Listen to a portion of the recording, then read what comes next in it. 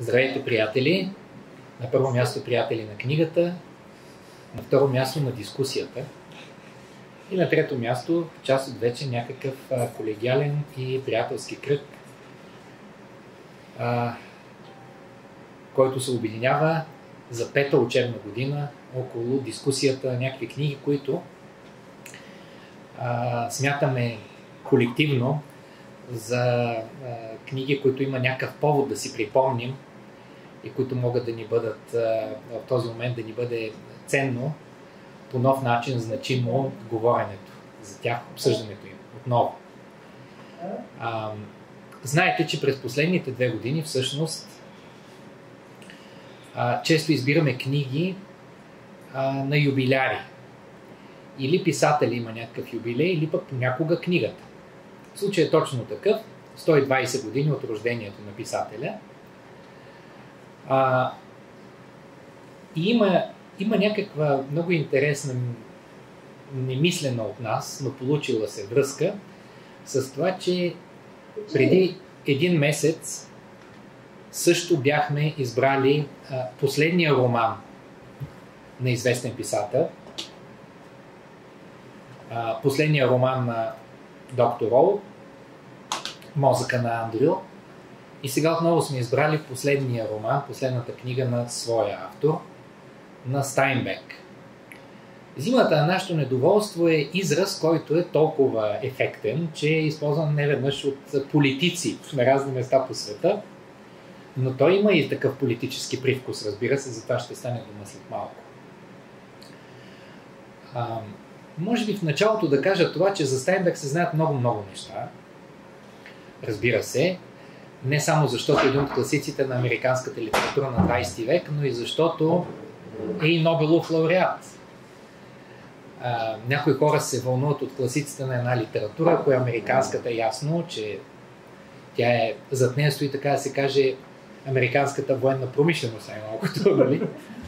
Всичко американско има своята ценност, най-малкото заради това.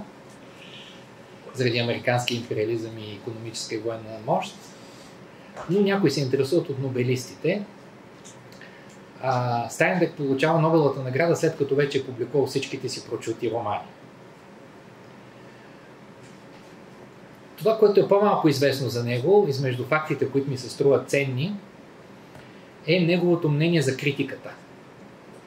Той не е от тези, които се пазят а, като а, дявол от тамян от рецензиите за своите книги, но е споменавал, и това е фиксирано в интервю, че него го натъжават рецензиите за неговите книги, дори когато са положителни. така че това наистина ми се струва много интересна гледна точка на един писател. Мога да си представя винаги един писател ще а, му се струва, ако е по-чувствителен, че не са му разбрали книгата. Дори да е така проникновените критици. Във всеки случай, точно зимата нашето недоволство не е най-добре приятата му книга. А, и определено за нея се е казвало, че а, така вече из, изтощил се е този писател, а, и не на нивото на своите най-прочути романи. Разбира се, вие ще споделите своето мнение, дали е точно така, особено пък ако сте чели и повече книги от, от Стайнбек. А, за самата книга какво можем да кажем най-общо, преди да започнем разговор и всеки да постави своите акценти?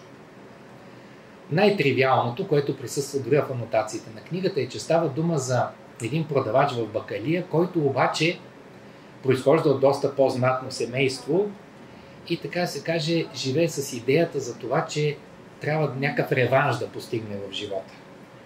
Тоест, той е в този момент на една много ниска точка, много най-ниската, те се каже, в историята на рода му, и трябва да направи всичко възможно, за да се отласне от тази ниска точка и отново да постигне нещо.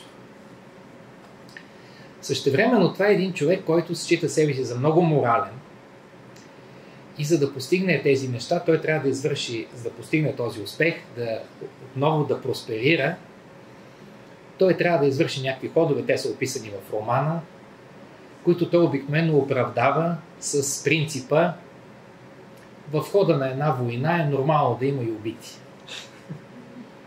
Тоест, така се каже, аз не ставам убиец, ако в хода на войната се случи да убия някого. А, изобщо това е, а, това е роман, който е твърдо фокусиран върху няколко морални теми. И аз си представям как всъщност една от причините книгата да бъде оценявана като недостатъчно силна, сигурно е това, че много важна нишка в романа е историята с участието на сина, му, на, сина на главния герой Алан в един телевизионен конкурс за есе Обичам Америка, който той печели, приписвайки от а, речите на различни велики американски президенти и други видни фигури. А, и така ска, ще се появи по телевизията а, CBS, за да прочете своето есе. Всичко върви в тази посока и а, както бащата е успял вече да се измъкне от бедността, затова няма да говориш, някой друг ще разкаже, предполагам. Така и сина е постигнал страхотен интелектуален успех, когато някой го издава, че всъщност той е приписал това есе, и се стига до един до, до, до едно развитие, при което и двамата, и бащата, и сина са извършили нещо морално недопустимо. Аз честно казвам от този път, като четох романа, защото съм го чел няколко като младеж, този път направих асоциацията, не знам дали е логична или някаква идиосинкразия, но с един български филм, където бащата и сина също бяха поставени в една ситуация, при която сина беше единствения в училището, осмелил се да каже, че учителя по пеене пее фалшиво. И това принуди бащата да, да промени своя живот. Да обичаш на инат, се казва филма, с Велко Къне. А, тази игра ми се струва много, много значима между постъпките на бащата и на сина в зимата на нашето недоволство. Но може би точно това е била причината романа да не бъде много добре прият, защото цялата тая линия с есето и с конкурса може би изглежда доста слаба на фона на други събития в другите романи, на, като социална значимост. Нямам представа дали е точно това. Но така или иначе, това е поредния социален роман на, на Сайнбек и роман, в който за наша радост, защото в университетска среда е този клуб, присъства дори и темата за плагиатството. Станала толкова актуална след последните директиви на Министерството на образованието. Но, едва ли ще говорим за това, или може би няма много да говорим за това. Давам думата на доцент Фадел, другия постоянен модератор на нашия клуб. Много благодаря. Добър вечер и от мен. А както каза доцент Евтимов, това е един особен роман на Стайнбек. Роман, който наистина не е прият чак толкова добре. Въпросът, който аз в началото си задавам е защо се случва така. Защо този роман не получава онази висока оценка, като получават останалите му произведения? Може би защото той е един, един роман в залеза на една епоха, залеза на реалистичния роман, а той е, претендира да е такъв и е някак такъв. Вече след него романите са други, литературата е друга, моралът, литературата вече не е толкова морална, морала не е на предна линия, социалната тема не е толкова определяща или е по друг начин определяща техниката на писане е друга, живия диалог тук, изключително хубавото интересно взаимодействие между героите, описанията, всичко това е един прекрасен спомен от една вече отминаваща епоха. Така че зимата на нашето удоволствие е наистина роман в зимата, т.е. в един сезон, в мъртвото, така да се каже, един вече умиращ някакси похват, една умираща територия, литературна може би така. Разбира се, това, което ме впечатлява и ми харесва а този роман е а, прекрасното за всеки реалистичен роман, може би, взаимодействие между двата плана. Единият е някакси описанието някакви конкретни житейски неща, съдби и тяхното вече алегорично, библейско и така нататък. Не, не роман е разпет и петък и прочие, започва. Цялата тази по, по, постоянно има напомняне, т.е. постоянно един втори план, интертекстуален, който някак разтваря, който във всеки добър реализъм е така, вече алегорично пренася в една друга епоха в един друг, не, не епоха, в един друг свят, света на идеите и прочие. Така че ми се струва, че, че си струва да говорим за този наистина важен последен роман, не просто на Стайнбек, но и на една, струва ми се, епоха в литературата. Добре, ще видим дали така мислят всички. дали сме на това мнение. А, отличен текст а, а, в сайта на читателския клуб отново е написал нашия колега Васил Димитров. И аз ще го помоля сега да взема думата и той. А текста винаги може да бъде прочетен. Тук нататък. Стайнбек си поставя доста амбициозна задача с този роман всъщност и така остава малко във втори план дали се справя с нея. А, сега ще прочета един цитат от неговата кореспонденция с неговия издател, където според мен тук се крие ключа към зимата на нашето недоволство. Лошия роман трябва да развлича читателите, средния да въздейства на техните чувства, а големия да озарява пътя им. Не зная ще успее ли романа ми да изпълни поне една от тези задачи, но целта ми е да, да озарява пътя. Тоест, романа представлява една радикална саморазправа с американската митология, американската култура,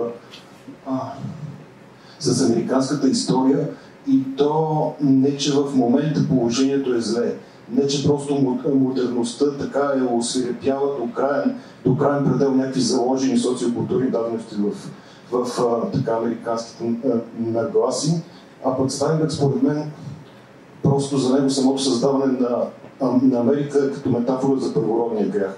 Или първородния грях по-скоро е метафора за него. Не случайно траекторията, наративната траектория на романа е рамкирана между 4 юли отзад и разпети петък отпред. А, така че а, Стайнбек просто за него първородния грях на американското, нали, на категорията на американското, на тази екзистенциална или антиекзистенциална по-скоро категория самото създаване на, на Америка. А, и от тук героите му са обречени по един трагичен начин. Тоест, основният му, му герой, за да успее, трябва да бъде конкурентоспособен, да смачка останалите, да предаде своя работодател като Юда, за да вземе неговото място. И всъщност това е заложено още в рецепцията на принципите на Френската революция за свобода, равенство и в техния американски вариант. Точно на това настоява Стайнбек и, това, е, и в това за мен е така изконната радикалност на този текст. А, той даже твърди, че а, предците му, които са основали е, САЩ, са нещо средно между политани и пирати, което за него в крайна сметка е едно и също. Именно заради стремежа към, към обогатяване, към тази агресивна конкурентоспособност, състезателни принципи, доминацията човек да осъществи нали, в земята своите, своите мечти, своята американска мечта. И естествено през, през 20 век за него нещата са се радикализирали до край. Банките са новите църкви. Той казва това. Гишета в банките са новите лотари. Примерно това също е цитат от него. И а, в ролята на змията в а, този американски рай, който изкушава главния герой да извърши своето грехопадение, също всички около него. Това също е интересен момент. Той е а, почти тотално сам в, в, в своя обречен фаустовски избор. По, по някакъв начин. От сина му, който подясна става дума за, за есето на тема Аз обичам Америка, до жена му, която казва, нали, толкова мечта да те, да те видя нещо повече от един парканин, да просперираш и така нататък, до неговата проекта любовница, която усеща неговите фаустовски терзани, иска да го така бутне на високо, всъщност нали, на нещо към самоубийството. И просто всички около него искат да го видят един ден кмет на града, на фона смисъл, на фона на това, че както Стамбек настоява за всеки голям успех за себе, голямо богатство всъщност седи едно по-голямо или по-малко престъпление. И просто за него това нещо започва с основанието, както вече казах, на, Съединените Американски щати от, от политаните и от, и от пиратите. А, така, също беше за мен интересно една изконна тема за 61 година, за началото на, на 60-та темата за, за отчуждението, като примерно в киното така елегантно разработва Антониони. Тук го има наистина безкрайната самотност. на този обречен, избиращ човек, който всъщност няма, няма избор, освен да пропадне, освен да загине. Тук той а, няма с кой да говори, няма кой да го подкрепи в неговото така бунтовно добро намерение да не бъде себе си, да не бъде американец, да бъде нещо по-друго, по-различно. И заради това Стайбек настоява, че всъщност той говори като в приказката на дърсен на кладенец изразява себе си, като една такава, като едно такова пределно отчуждение. И ако се върнем на светлината, тя е контрапункта на всичко, което казах до тук. Тя се намира в така древните жестове на неговия работодател, който макар и предаден, прави, прави жест, жест към него. И а, Стайнбек настоява на, нали, на няколко места трябва да спасим светлината. Всъщност трябва това така кореспондира с библейското и светлината, и светлината в мрака свети и мрака е не обзе. И практически единствено това го спасява от самоубийство на края. А пък, освен всичко, което каза сега, американската културна политика в началото на 60-те би приветствала радушно тоталния хейт от превърна на Америка, това е ясно. Така че не е тук заровено кучето. Според мен кучето е заровено в така... Просто романа звучи олдскул за мен. А, някакси, когато чете човек, сега следващата книга, която ще представяме двойки на Абдай, която излиза само 7 години по-късно, Просто става дума за наистина нова просто епоха. Може би с Таймбек с този текст завършва една епоха на големи реалистичен роман. Това мисля, че е едно така интуитивно смятам, че става правилно допускане. И голямата амбиция. Просто когато човек си а, поставя за цел, че с един литературен текст да озарява пътя, той малко или много остава извън, извън литературата. Или надскача или остава нали, в страни от нея, но на моменти роман изнаси, така звучи засилено и тези сно. И малко така лична траектория на основния герой, който а, така се разкаива, нали, че иска като Юда да се, да самобина, накрая се спасява е доста така недостоверно решение лично, лично за мен. Но и, но езика на романа просто е като предчувствие за, за 60-те, които се учат в, в Америка, за цялата хипи култура, за копи културата, но изказана на езика на дядовците на, на хипите. За едно да имаш дядо, дядо хипар, който не осъзнава себе си и с най ще получи нова награда. Някакси толкова антично ми звучи на места този, този текст, но самите идеи на, на, на Стайнбек са, може би, в пъти по-радикални от най-радикалните така хипарски комуни на, на 60-те все пак. Добре, останаха, останаха много неща не, не до, съвсем недоизказани от, от Васил, така че се надявам, че той пак ще се включи в някакъв момент, защото имаше подхвърления, които искат развиване. Малко я да допълня, много интересно изказване беше а, на Васил. Сега, дали всъщност можем да сравним този роман с, примерно, романа Възкресение на Толстой, където пак има такова желание да се излезе отвъд литературата не е ли всъщност някакси винаги истинската литература на тази особена граница между литературата и света? И писателя се намира винаги някакси при, привлечен от света, за желанието да направи нещо в, в света, да озари пътя, да, да, как да напътства, да движи и това обаче води много често до, до големия, до някакси до, до провали. Това е, това е, но не е ли това големия конфликт вътре в самата литература. Това искам да допълня, че Стайнбек съвсем утопично като че иска да, да спаси Америка.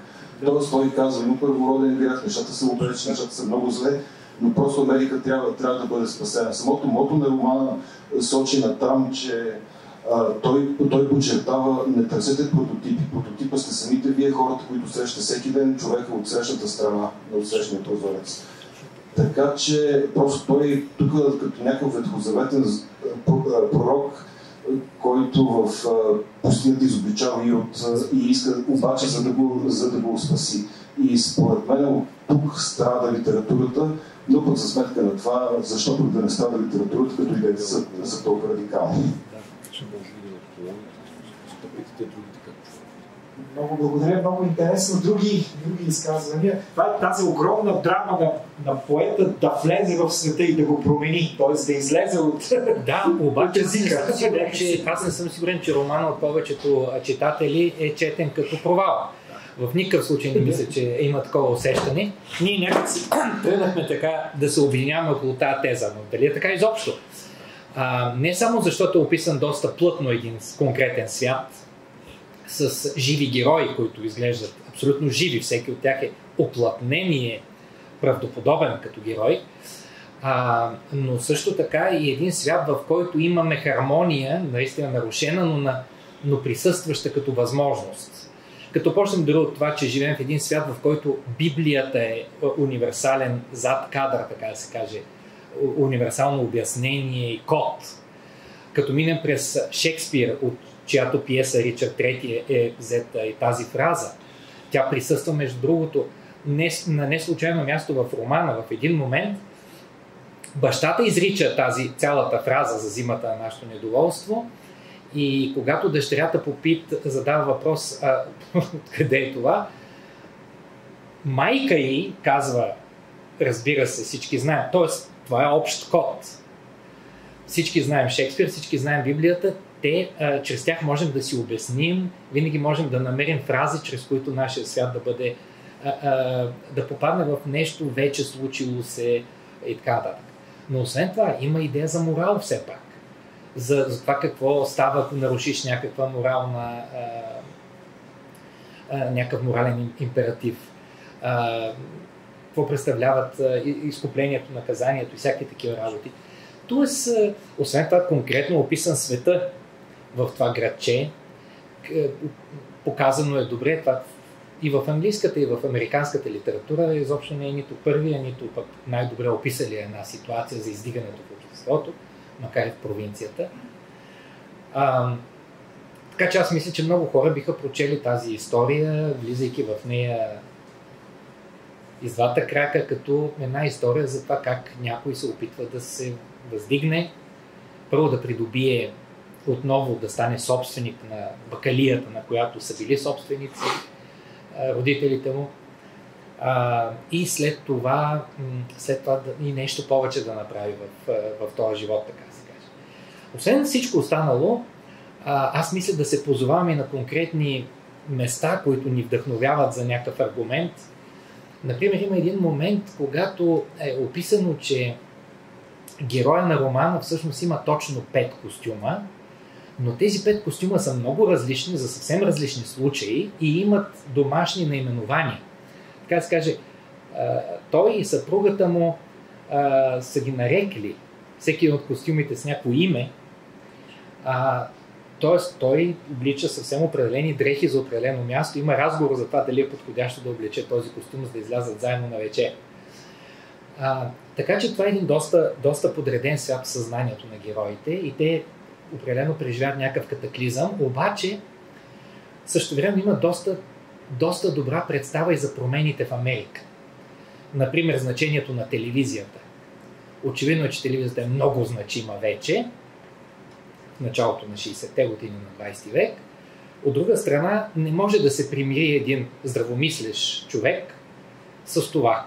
Тоест, с това, че телевизията създава бързо авторитети, много от които всъщност са абсолютно такива мълниеносни, бързо се появяват, бързо изчезват. Тоест, телевизията пренарежда авторитетите в света и това не е много приятно, макар да виждаме, че е реалност. И други такива неща са описани. Описано е и конкретно как, с покупко, как, как се извършва покупко-продажба, как, се, как един предприемач може да, да се справи с, с някаква ситуация. Аз не знам дали клеветенето, защото това е роман за, клевет, за две клевети. Клеветата, която извършва главния герой, когато съобщава на иммиграционните служби, че собственика на магазина, в който той е просто служител, а, всъщност е пристигнал в Америка в момент, в който Тамън е престанал да въжи един закон и е започнал да въжи друг, т.е. той е нелегален. Вече което е вид клевета, и клеветата на сестрата на клеветила брат си пред телевизията, съобщавайки всъщност, че той е попреписал есето си, с което е награден. Не бил да забравим обаче, това е една епоха, в която клеветата действа на високо политическо ниво, нали, макартизма. А, общо взето, Ние, понеже тук непрекъснато в България е, сме с спомена и дори по-младите, които нямат истинска представа за държавна сигурност и значението на клеветенето на някого, а, и, и натиска, който държавна сигурност е оказвала върху, върху гражданите на една социалистическа страна, а, пропускаме факта, че в Америка също в някакви периоди от време не е било особено приятно да живее човек, защото може да бъде съобщено на някакви служби а, и да бъде наклеветен. Но не знам дали тук пак няма да преувеличат също нещо. Във всеки случай, действително, бавно се разгръща всичко, бавно се оплътнява живота на тези хора. Много се държи да се съобщи за техните привички, отношения, език, е, семейни отношения, работата и така нататък. И от тази гледна точка, може би, роман е много старомоден наистина. Обаче също време то описва една реалност, се опитва да бъде верен на това, да пресъздаде как хората преживяват обществените, економическите и прочие промени и има някаква тръпка, според мен, в този роман и до ден днешен по отношение на американското живеене. Да не говорим, че тази генерална метафора за първородния грях и за това, че всъщност целият капитализъм е изграден върху него, може би е някакъв архи образ, такъв не присъщ не само за Стайнбек, а изобщо за много романи, разказващи за, за американския капитализъм и американското проспериране и така нататък. Но все пак, а, конкретно кажете вие, които сега сте препрочели книгата или пък а, някога сте я прочели с радост, какво ви е тогава впечатлило, какво сега, ако сте, имате два прочита във времето, как се е променило за вас? А, смятате ли, че книгата е актуална? Един от най-редовните ни участници. Редовните участници. Здравейте, аз за първи път четох Всъщност, на мен любимите книги на Стайнбек са тези, които първо съм прочела. Улица консервна и Тилфлет. Аз мисля, че този роман има своето място, защото трябва всеки роман си има а, не може да сравняваме така един по-добър, друг по-лош. Наистина приемането при написането на романа не е било добро, но четох, че после през 70-те години, когато вече Стайнбек не е на този свят, при аферата Лотъргейт, критиците тогава се обръщат към него и всъщност тогава го оценяват като нещо, което Стайнбек е предупредил, че ще се случи тази загуба на морал, това, че да си честен, почтен, а, макар и беден, с старомодни, както казва съпругата на героя, да казва, с тия твоите старомодни възгледи, никъде няма да стигнеш, така нататък. и още нещо, което прочетох, защото при мен е в един том с зимата на нашето недоволство, с пътешествия с Чани, после продължават писма и есета. и в пътешествия с Чани Стайнбек казва, за мен фабулата не е най-важното.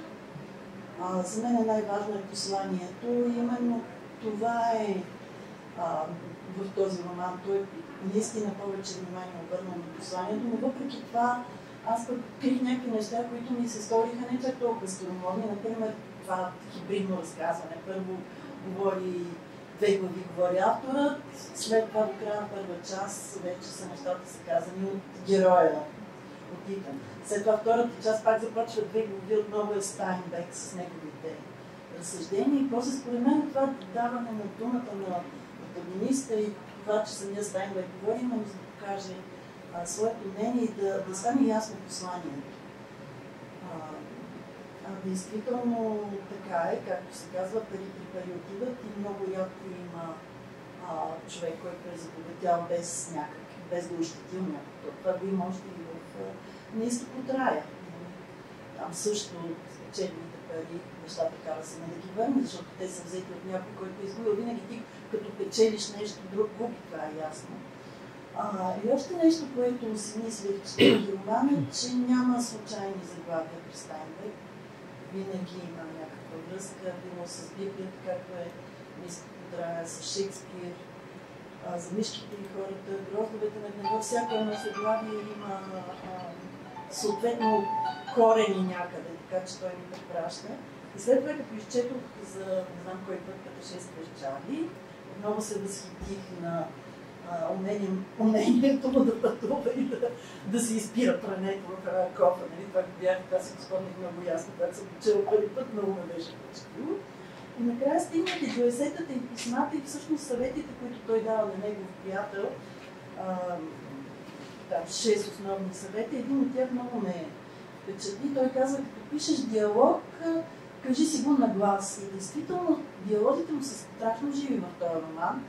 И като стигнах до там с наистина реших, че това е много, много хубаво откритие, което той не крие и споделя с а, читателите. За да е жив един диалог, наистина ти ако не си го кажеш на глас, ако не ти звучи правдоподобно, плюс и други съвети към пишещите, да не редактираш докато пишеш, почваш на един дъх, пишеш всичко. А, една страница на ден, нали, не да чакаш кога ще стигне 400 страница и други съвети, а, които много ми харесаха така от кухнята на нещата. А между другото, а, сега не сме съвременници нали, на Стайнбек, но пък хубавото е, че може човек в интернет да потърси да чуе хубавия му плътен глас, истинския глас на писателя. сетих се за Холден, който казва така, през Селинджер, а, има писатели, които като ги четеш, искаш да си говориш с тях и такива, които не искаш въобще да ги видиш. Аз пък ми се прииска да чуя истинския глас на Стайнбек, така четейки. И действително хубавото е, че в YouTube може да, да чуеш а, гласа. Той точно тези съвети за писането обясняваше това, което аз намерих. А, така че пък живеем в една епоха, където можеш да чуеш истинския глас на, на автора. Така че според мен е, в никакъв случай не е по-слаб роман, просто е различен, просто а, и от друга страна, като си написал такива велики произведения, много трудно да продължиш, знаем се от 60 Така че не е много хубаво и веднага да се прочуеш. Покрай юбилея на Стайнбек ние се чудихме, между другото, на кое произведение да се спрем и за пътешествие с Чарли малко се колебахме дали да не, дали да не е тая книга. А, при всички положения Стайнбек е един от писателите, които и в художествените си текстове, в романите, и в а, нехудожествени, мемуарни, пътеписни и така нататък текстове, а, не крие това, което, което според него се случва, което е съвременна Америка.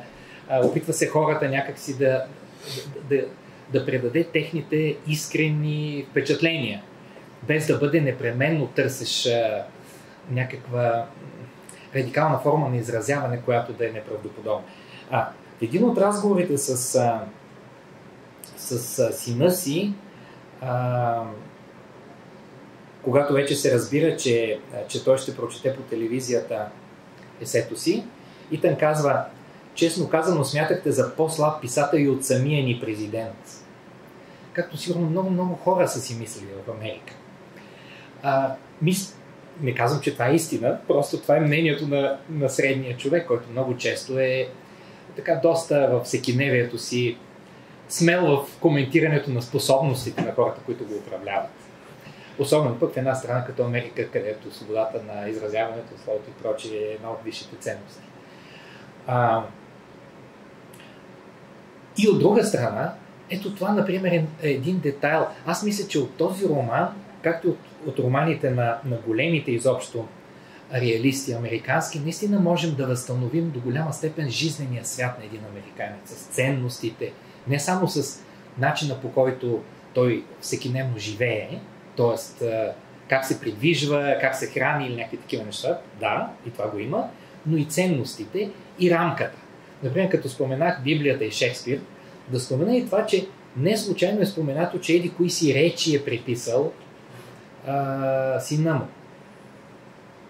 Всеки един народ има своите оратори и своите прочути а, речи. Обаче речите на българските оратори не се учат в училище. Това всеки от нас го знае. И затова, когато попитаме случайен човек на улицата, я кажи за прочуто изказване, прочуто слово на някой български министр-председател, владетел или нещо този не се знае, защото нямаме образци които задължително да влизат в училище. Не е така обаче в англосаксонското образование, където те знаят за тези прочути моменти. Получавайки се, разбира се, от историите на Токидит и Хиродот, където са разказани, за, където са пресъздадени речи на старогръцки полковод, атински полководци и така нататък. А, така че това е една съвсем а, друга култура, която добре е пресъздадена а, от Стайнбек и може да служи за добър пример или пък а, да решим, че нямаме нищо общо с това. Но а, други, други коментари за нещо, което особено така ви е допаднало като начин на, на, на, на предаване на, на света. Може би можем да коментираме м- отношението към децата, свободата те да изберат своя път или не, а, поведението на, на тези тъмън навлизащи в живота младежи, които може би приличат на почти всички младежи на тази възраст в съвременния свят. Или пък не толкова. Това също е някаква точка. Или пък конкретно а, историята как присъства. Защото тя е спомената чрез този закон на Съливан или някакви други. Тоест ние можем да влезем в детайли от американското законодателство и как то се е променяло. Или може би наистина някой може да коментира облеклото на героите, което е доста добре описано и правилно, съответстващо на социалната група, към която принадлежат. Може би онова огромно умение да се изобразява средния човек, което реализма постига по един блестящ начин, който сега изглежда много трудно постижимо за литературата. Усещането за това, че, както казва Гогол, нито нисък, нито, нито висок, нито, нито пълен, нито, нито слаб. Изобщо тази, тази особена средност на човека, която е постигната много добре тук, представата за тази особена средност, като реализма успява толкова добре да, да внуши именно наследеното в този роман. Именно този и големите роман. социални митове, да. защото, например, те си имат селска Мерилин да. нали, в романа, а, можем да си представим, че общо взето всяко село, условно казано, си имало своята Мерилин в тази епоха. Да. А, и това е пътюм, нали? Това не е най-важното уж в а, романа, обаче е... И това умение, което и вие почнахте много хубаво, диалогът Действително диалогът тук е много силен и много майсторски, много трудно в литературата, аз понеже нали, преподавам творческо писане, много трудно се постига в литературата именно диалог, собствения глас на героя, това той да бъде отличен от останалите, да не говори просто автора, тук това е постигнато наистина забележително, по забележителен начин. Като казах за децата, нали, тук го има директно този момент с това, че Итан си представя, че сина му най-малкото това, което може нормално е да се случи, е все пак да почне да идва в магазина, да му помага да види как функционира бакалията, за да я поеме в един момент семейния бизнес, колкото и той да е нищожен. Обаче нещо не среща съпричастие от страна на сина си, желание да, изобщо да се запознае с машината на бакалие. А, и в този смисъл този син изглежда абсолютно не желаеш да поема отговорност, а вече е голям. А, това, това също присъства в книгата и също сигурно е някакъв проблем на модерните семейства. Да знам дали е точно така. Ако тук има по-добри антропологически наблюдения, някой може да каже. Госпожа Терзиева да, първо поиска.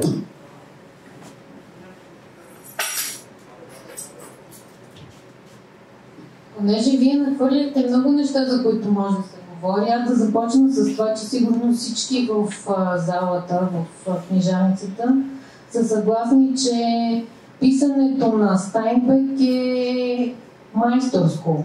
Тоест тази книга ни въздейства с начина на писане и тук художествените достоинства на книгата са безспорни. Не случайно тя, нали, все пак благодарение на нея и той става Нобелов лауреат. Сега въпрос е дали ни критици я харесват, други не я харесват. Това са вече, как да кажа и аз, противоборство на а, литературни среди и оценки, но а, мисля, че разглеждането на тази книга в читателския клуб а, има защо да бъде разглеждана, има защо да тачиме тази годишнина на Стайнбек. Сега, а, понеже много неща се казаха, аз първо да се хвана за тези думи, които доцент Евтимов спомена по повод клеветата, за двете клевети. А, през цялото време си мислих за това, че аз не би го нарекла клевета. А, много е характерно в тази демокрация американската, а, която започва от а, преселниците, които дават началото на Америка, ти да реагираш на, на нещата, които не са справедливи, т.е. ти да казваш това, което е истината.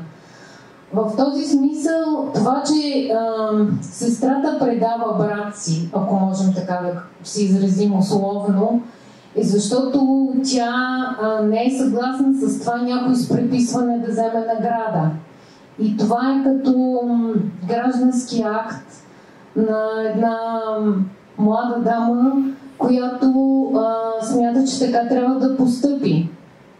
В този смисъл не би го нарекла клевета, а би го нарекла будно отношение или желание наистина най-добрият да бъде победител, а не този, който е преписал. Същото, същото определение бих използвала и за а, клеветенето на Маруло, който е нарушил закона. Просто той е нарушил закона и се а, и съответно а, пак не е клевета, защото той трябва да получи това, което заслужава според закона. Тоест от тук виждаме някакво съблюдаване на закона и на истината и на ценностите, а, които а, са като граждански актове на тези герои и това е някакъв а, пример, нали, някакъв а, пример за проявите на американската демокрация. Сега друго, което ми се върти в а, главата за тая книга е а, значи дали стремежа към печалба покупва човека или не, дали това е в основата на книгата или по-скоро книгата а, чрез нея Стайнбек иска да ни каже ето това, ето защо е Велика Америка. Защото Америка е велика, а, защото а, всички а, някакси ценността и стремежа към печалба, предприемаческия дух, желанието да си материално успял е във всеки един от тях. И той, а, макар че показва пътя по който това се случва, че човек, стремейки се към това, губи а, някои морални устои, а, в крайна сметка ние в днешно време а, всички виждаме до какво води този дух на американеца. И аз си мисля, че в някаква степен това това е, ам, може би, някакво обяснение в любов на автора към Америка, защото той се възхищава от този дух, независимо от всичко, независимо от съдбата на героите. Това исках да споделя, а, колкото до поколенията, да, значи тинейджерите и двамата са много съвременно звучащи. Ам, това, че предпочитат леснината, лесния път към слава, вместо да запретнеш ръкав и да помагаш магазина или да се напънеш да измислиш собствено съчинение, вместо да преписваш. Така че мисля, че книгата има много съвременно звучение и има, от какво, има какво да научим от нея и днес и да ни послужи като някакъв източник за литературен източник и да се възхитим и на художествеността и таланта на Стайнбек. Госпожо Тереза, дайте на Жустин Томс. Благодаря. Благодаря. Аз имам тези последни думи. И също искам да кажа, че за мен е много актуална ми се видя книгата. Когато казахте миналия път, че тази книга ще е на фокус и си казах, а, нали? защото Стайн, Стайнбек е икона, нали, за нашето поколение поне, ние ставаме, сме набори. Ние сме пораснали, поне нали, цялото, целият свят се откри пред нас с тези книги, които с тази епоха дойдоха при нас на куп и а, така нататък. И ми се струва сега супер актуална, като препрочетох, защото всъщност се оказа, че тя е една много, много философска книга, като всичко на Стайнбек всъщност не. И сега като не знам, що така. И, и всъщност е изключително поетична. Същото време я намерих, но искам да кажа, че аз по-скоро не я възприемам като а, влюбен обяснение в любов към Америка, точно обратното. Един голям бунт към всичко, което е та фалш, нали, който е... И цялото това го видях сега в нашето общество изведнъж, нали, наново. Не, че не го знаеме, и разбира се, много хубаво идва клишето всеки път зимна на нашето недоволство. Ние си живеем тук в една зима на нашето недоволство последните 30 години. А, иначе романа ми го напомни, че е още по-актуален в момента. Така че да, това иска само да го намерих изключително актуален, много философски, много поетичен като текст. И съм благодарна, че имах повод да го препоръча. Благодаря на, благодаря на Жустин. Да, значи, а, действително, първо тази метафора абсолютно съм съгласен, тя, тя много добре ни изразява и Впрочем и героите, наистина, тяхната логика, те мислят логично и рационално.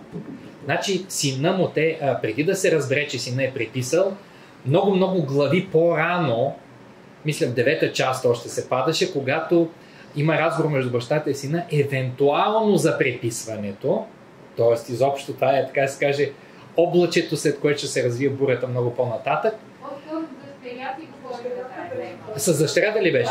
И разговора беше, беше около това, че, че те сега всички приписват нещо от този сорт. Тоест, в един свят, в който всеки мошенничества, ако живеем в един свят, в който подозираме, че всеки търси втория начин, ясно е, че морала става вече по-друг Тоест, ти си позволяваш да направиш нещо такова, каквото си му е направил, просто защото всички правят така.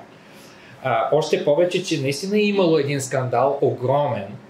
Той е бележка под линия в изданията на романа с един, който предварително много прочут Ван Дорен, който е получил предварително отговорите на една от тия телевизионни анкети тип Стани богат. Има и, има и цял филм за, за този случай, не помня как се казваше, но това вече е било факт. Но а, това, което. т.е. имаме нещо, което извън. А, не извън времето, но за по-дълго време въжи за различни общества, включително българското. Но когато се появява този от телевизията, за да съобщи на бащата, че така и така има такъв случай, там е, е намекната и цялата тази работа с историческия момент в Америка. Значи той там казва, а, нямаме желание случая да се разчува, както ви е известно, преживяхме трудна година а, първо скандалите около телевизионните състезания, после пиолата на всичко отгоре и разпитите пред разните комисии в Конгреса. Значи това наистина е макартизма. Длъжни сме да си отваряме очите на четири, настанаха опасни времена. А, добре, може би клевета не е точна дума. Айде, доносник. Доносник. Доносник ли си, когато донесеш истината нали, за... Доносник ли си? Да, това е голям въпрос, защото със сигурност ти си провалил изложил си на риск цялото семейство, репутацията му най-малкото и така нататък. Само си казал истина. Казал си истината. А... Значи, може да е, когато се споделят неща, които а, не са изоблачени или, как да кажа аз, украсени или тълкувани субективно.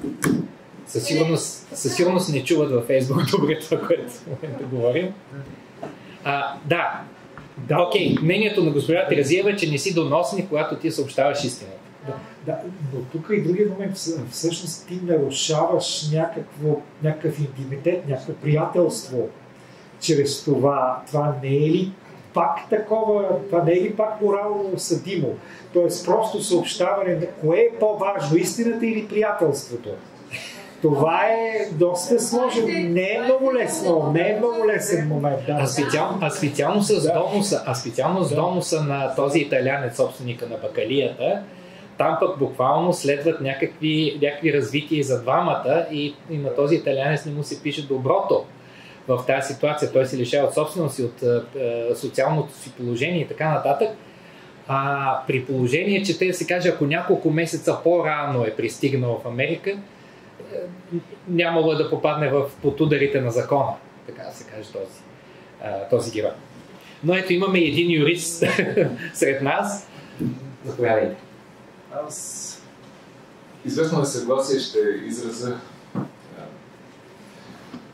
защото замислете се, аз между другото съм човек, който не е дочел книгата. Остават ми 30-40 страници, но мисля, че не е забранено да взема участие. Доносник спазил закона, нали така, безупречно, макар че, колкото разбирам, не е съвсем безкорисно го е направил в конкретния случай в книгата. Обаче не е ли по-важният въпрос, в крайна сметка, закона ли е тук важен и тогава, а и днес в някаква степен, или понятието за право е и за справедливост.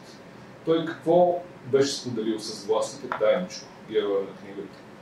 Че този човек с няколко месеца е просрочил нали, крайната забрана на 1920 година, ако не се лъжа, да пристигне в Америка и да бъде регистриран. Това ли е най-важно в този случай? След като той човек, крайна сметка, дори няколко месеца и години след това се е установил, развил си е бизнеса, така да се каже, създал е семейство, и в крайна сметка опираме наистина в крайна сметка до това дали законът понякога регламентира едни обществени отношения, които са разумни. Да, от някаква политическа гледна точка тогава предполагам да доведем такъв закон.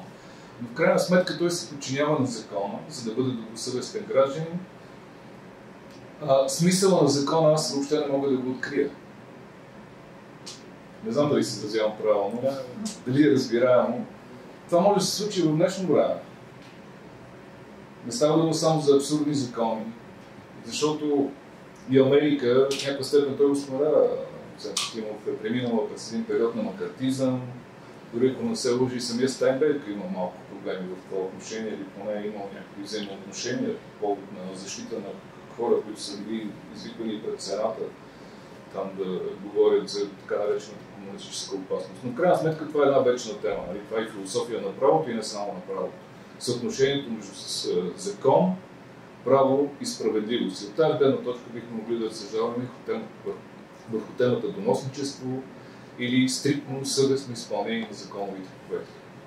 Това е което искам Благодаря на професор Веселин Бучков.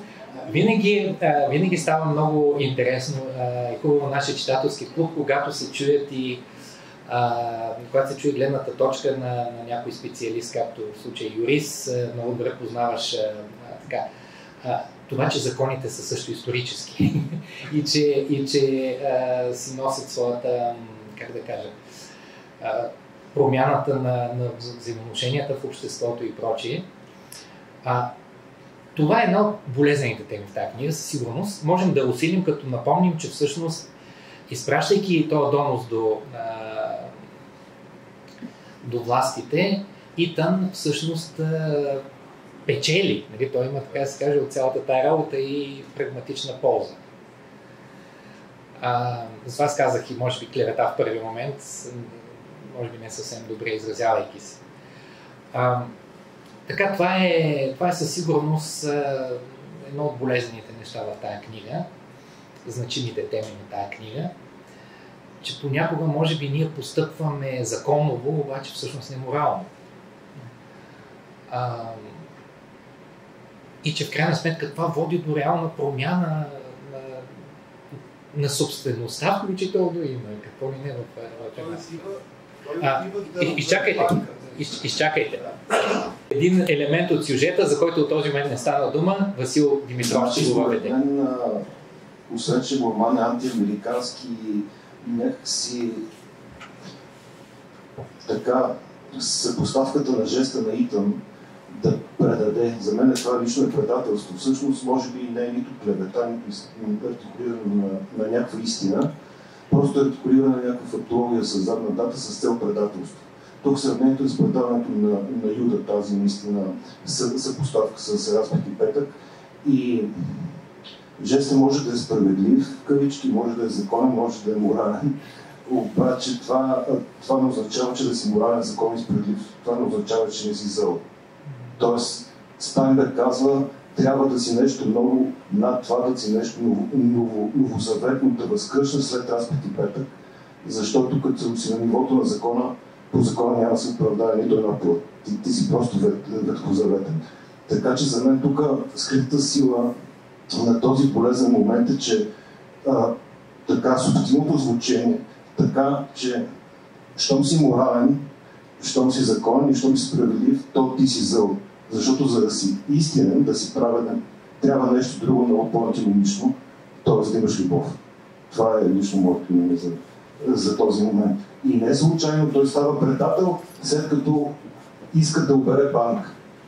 Тоест не можеш да си иска да обереш банки, защото да станеш нали, някакси така праведен и законен. Отново Жустин Томс.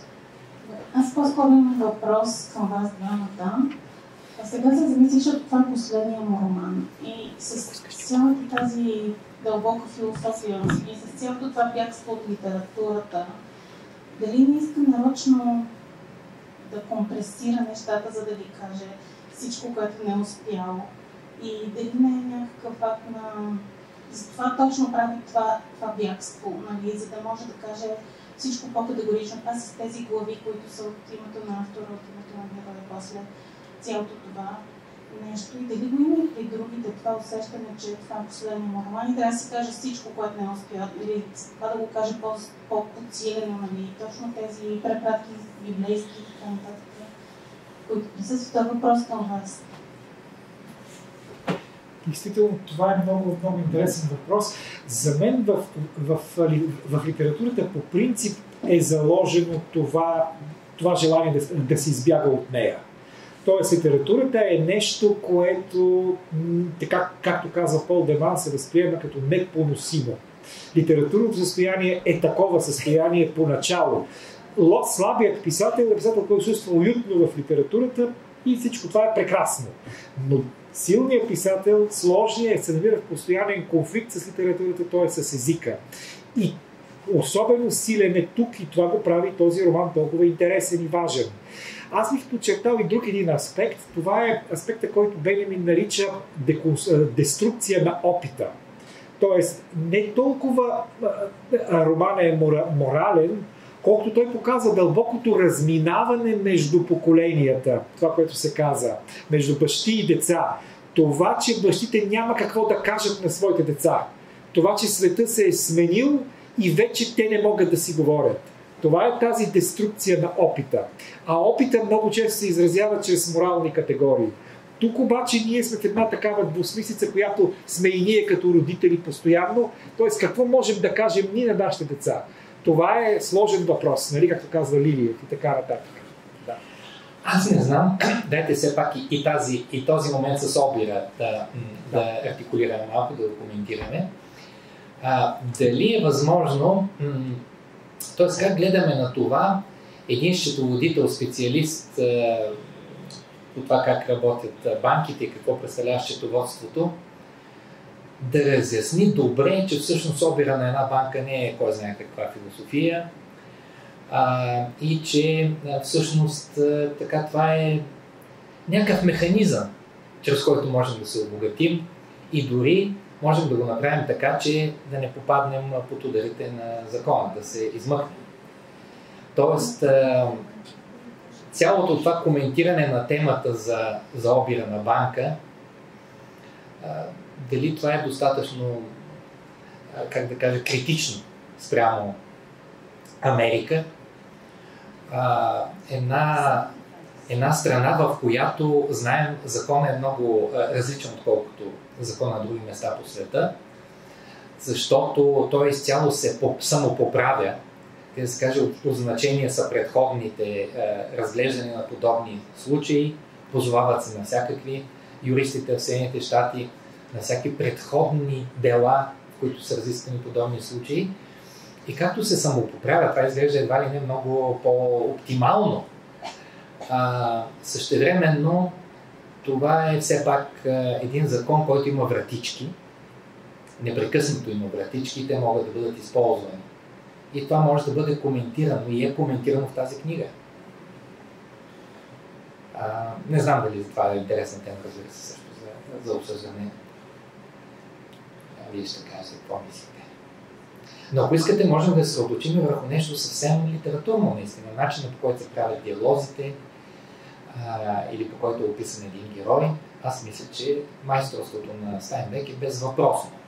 Тоест, едва ли някой, който чете и тази книга, ще остане недоволен от начина по който се оплътнява и външния, и духовния образ на героите. И те, и те живеят наистина автентично в книгата.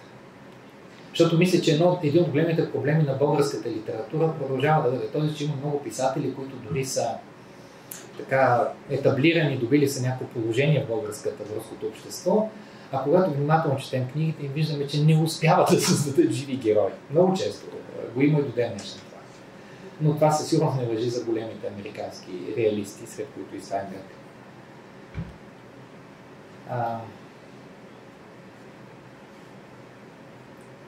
Не коментирахме превода също, преводачите на тази книга. Аз между другото даже не се и потрудих да проверя. Мисля, че всъщност новото издание е и с нов превод. Да. Мен е Цветан Стоянов и Александър Посадов. Новия. Различни. Да, имаме, имаме няколко различни. Имаме няколко различни преводачи на тази книга. Тоест, някой би могъл, аз не съм извършил това, да направи дори някакво сравнение, да каже за, за разликите из нещо, което го е впечатлило. Всеки случай, случай не е такъв, както при предната ни избирка с, с Спасителя връща, където, където най-новия превод е много така, концептуално, концептуално различен и, а, и съзнателно, така се каже, а, провокативен. Тук не е, няма такова нещо, ми се струва при различните преводи на книгата. Ами, ако нямаме някакви а, нещо, което с, на всяка цена трябва да бъде казано, да обявя какво ни чака за напред. Имаме, разбира се, и книга за март. А, това е двойки на Джона Дайк. Една книга, която е предизвикала доста голям, голям скандал в Съединените щати, която на български беше достатъчно от факта, че излезе много-много късно. Може би да речем десетата книга на Алтай, преведена на български, много-много години, прямо 50 години след първото издание. А, и, и която наистина може да бъде много дискутирана по линия пък вече на темата за сексуалността, за сексуалните как да го кажа, ритуали, взаимоотношения и така нататък в Америка през 90-те години. Все пак едно време, когато, в което се създават и сексуални комуни и какво ли не, т.е. наистина един, една много различна и от съвременна Америка, и от всичко, което се случва другаде по света реалност, по някакъв начин е разказана а, нали, една от върховните точки на тази промяна, която, а, която на всички ни е известна в американското общество и култура и, и, и след която всъщност вече има едно връщане, отказ и проче от някакви прекалени свободи. А, и ще го коментираме следващия път. Следващия път ще бъде, както винаги, последната сряда на месеца, точната дата, коя е 30 марта се пада, т.е. месец с 5 среди едва ли не. А, така че м- има време от тогава да прочетете Двойки един от по-обемистите романи на, на Дайк. А, изчакайте, изчакайте за микрофон. Госпожа Терезива иска да направи съобщение връзка с клуба. А, всички, които вече са попълнили формуляри за участието си в клуба, трябва да минат през касата, за да си отбележат а, присъствието днеска. А тези, които искат да попълнят такъв формуляр, за да може след две посещения да получите карта за намаление в книжарницата, ще ви помоля просто да поискате формуляр, за да си нанесете името и имейл адреса. Благодаря. Светът дай какво е? Благодаря и, и всичко, а, а, всичко най-добро, приятно четене. А, виждате, на- натрупаха се американски писатели. Доктор, доктор Селинджер, а, а, Стайнбек, Updike. С, с това при, с Updike ще приключим американската серия и ще отидем на европейски писатели през пролетта. Благодаря ви за участието. Благодаря и аз. Благодаря.